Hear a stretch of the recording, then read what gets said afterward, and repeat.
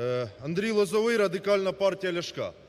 Хотів би проінформувати український парламент, хто ще не знає, що зараз відбувається в нашій країні, зокрема в місті Одеса, де вчора на Думській площі біля міської ради серед білого дня в присутності десятків е, так званих правоохоронців було знищені, розгромлені, порізані на шматки громадські приймальні виїзні моєї колеги Мосійчука. Чому е, так звана нова поліція проявляла бездіяльність? Тому що з кількох джерел я маю інформацію, що команду на це їм давав е, ТВО начальника Нацполіції Одеської області пан лорд Кіпанідзе, про якого, який прославився фразою на одній з нарад «Я не понимаю, о чем вы говорите, говорите на понятном для меня языке». Відбулося це після мого вчорашнього виступу на правоохоронному комітеті парламенту. Дякую голові генералу Кожем'якіну за можливість виступити. От одразу після цього виступу за командою, за командою лорд Кіпанідзе міліція, поліція так звана проявляла повну бездіяльність під час знищення приймалень народних депутатів, відповідно перешкоджання нашій діяльності.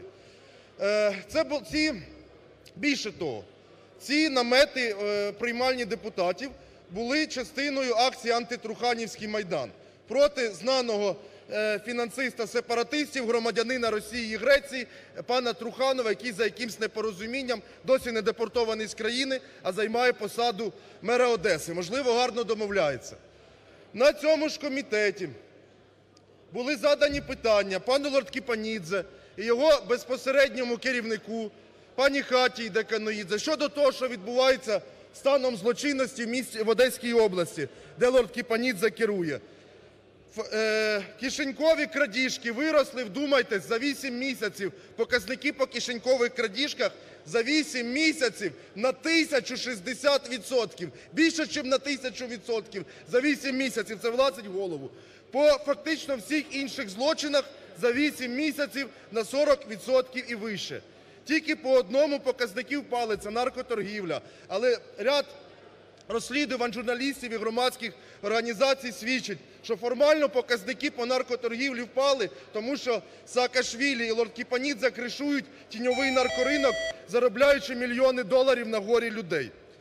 Після мого виступу, вислухавши справедливі аргументи, пані е, Деканоїдзе не знайшла, замість того, щоб відповісти, замість того, щоб покаятись, не знайшла нічого кращого, щоб звинуватити мене в ледь не в розпалі міжнаціональної ворожнечі.